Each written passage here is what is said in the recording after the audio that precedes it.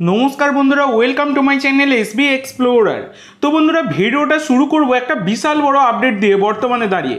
যেটা হচ্ছে উড়িষ্যা এফসিতে সই করলেন প্রাক্তন মোহনবাগান তারকা রয় কিস্টা তো বন্ধুরা, এর আগে তোমাদেরকে আমি একটা ভিডিওতে জানিয়েছিলাম যে ওয়েলিংটন ফিনিক্স কিন্তু রয় কিস্টাকে নিচ্ছে না।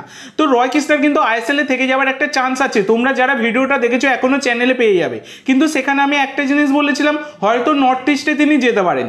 তো নর্থ ইস্টে যেহেতু একটা ইন্টারেস্ট ছিল।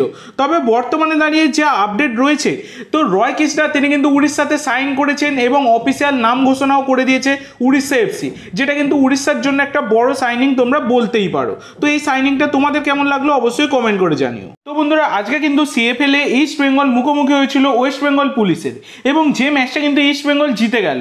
এবং আজকের ম্যাচটা কিন্তু একটা সময় হয়ে গেছিল ইস্ট বেঙ্গল কিন্তু দুই শূন্য গোলে এগিয়ে গিয়েছিল, তারপর দুই এক হয়, তারপর দুই দুই হয়, তারপর কিন্তু চার দুই হয়ে যায়। এবং এইভাবে কিন্তু ইস্ট বেঙ্গল ম্যাচটা জিতে যায় আজকের ম্যাচটা এরপর তোমাদের যে আপডেটটা দেবো, সেটা হচ্ছে ইস্ট বেঙ্গলের কোচ কার্লোস কোয়াদ্দার, তিনি কবে আসছেন? তো দেখো বন্ধুরা, যেটুকুনি আপডেট পাওয়া যাচ্ছে, এই সপ্তাহের শেষে বা পরের সপ্তাহের শুরুতেই কিন্তু কার্লোস কোয়াদ্দার তিনি কলকাতায় পা রাখবেন, যেটা কিন্তু ইস্ট বেঙ্গল সমর্থকদের জন্য একটা সুখবর বলতেই পারো। এছাড়া বন্ধুরা, অনেকেই জিজ্ঞাসা করছিলে যে পুইটিয়া কি ইস্ট বেঙ্গলে যাচ্ছে? তো দেখো বন্ধুরা, এরকম একটা খবর বেরিয়েছিল ঠিকই যে পুইটিয়া ইস্ট বেঙ্গলে যাবেন। তবে না বন্ধুরা, সেই খবরটা কিন্তু সত্যি নয়। মোহনবাগান ম্যানেজমেন্ট কিন্তু পুইটিয়াকে অন্তত ইস্ট বেঙ্গলে পাঠাচ্ছেন না এইরকমই কিন্তু আপডেট রয়েছে। তো পুইটিয়া সম্ভবত অন্য কোনো টিম যেমন Chennai FC North East United FC এবং রাউন্ড গ্লাস পাঞ্জাব মানে বর্তমানে যারা পাঞ্জাব এফসি হয়েছে, তো তাদের টিমে কিন্তু যাওয়ার একটা চান্স রয়েছে। দেখা যাক কি হয়। এরপর তোমাদের যেটা জানাব, সেটা হচ্ছে ইগর স্টিম্যাচ আমাদের জাতীয় দলের কোচ। তিনি কিন্তু প্রধানমন্ত্রী নরেন্দ্র মোদী এবং স্পোর্টস মিনিস্টার অনুরাগ ঠাকুর। তার উদ্দেশ্যে কিন্তু একটি বার্তা দিয়েছেন, যেহেতু এশিয়ান গেমসে আমাদের ভারতকে অংশ নিতে দেওয়া হচ্ছে না। ইগর স্টিম্যাচ প্রধানমন্ত্রী এবং স্পোর্টস মিনিস্টারকে রিকোয়েস্ট করেছে, যাতে এশিয়ান গেমসে আমাদের ভারতকে অংশ নিতে দেওয়া হয় আমাদের ভারতের উন্নতির স্বার্থে।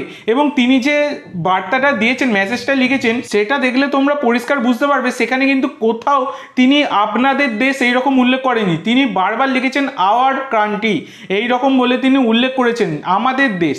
তো অবশ্যই একজন ক্রোয়েশিয়ান মানুষ, তিনি আমাদের ভারতের উন্নতির জন্য যদি এতটা কিছু চাইতে পারেন, আমাদের ভারত সরকার কেন চাইবেন না?